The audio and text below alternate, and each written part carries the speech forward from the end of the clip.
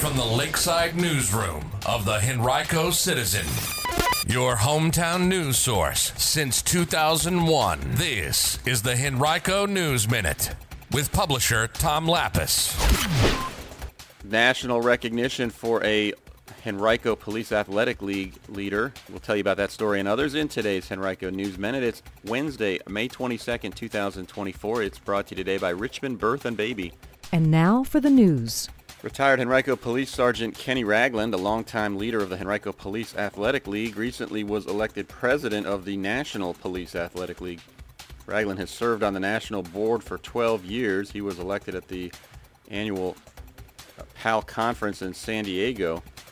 During his two-year tenure, Ragland said he plans to enhance the organization's infrastructure and develop a comprehensive strategic plan that will enhance PAL's ability to secure funding.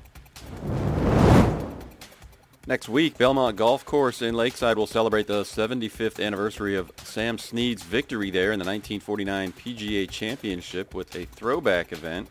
On May 30th, greens fees will be reduced to $19.49. Then the next day, golfers will have a chance to hit clubs similar to those used by Snead as part of a four-person scramble event. Each group will have a set of 1940s clubs and balls.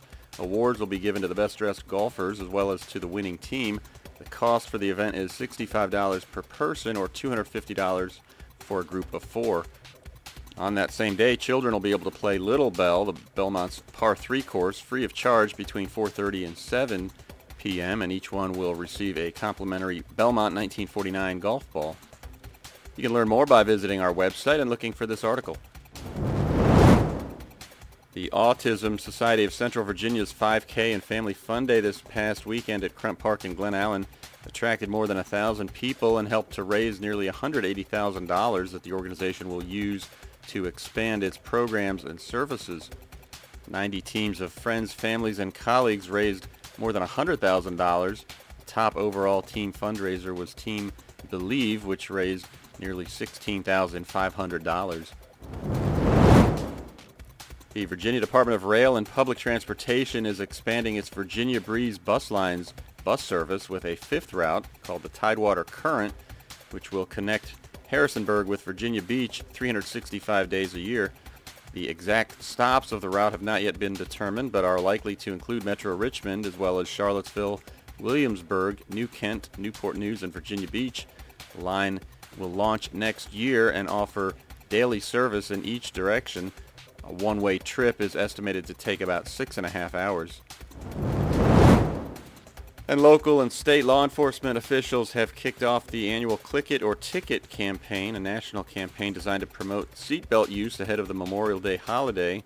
The campaign will run through June 2nd, aiming to ensure that drivers and their passengers are wearing seatbelts when they are on the road.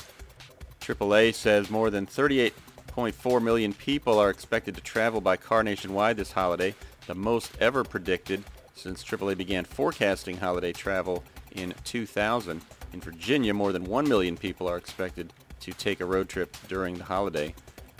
Officials say about 27% of Virginians still do not wear seatbelts in vehicles, and last year 54% of those killed in traffic crashes in Virginia were not wearing them.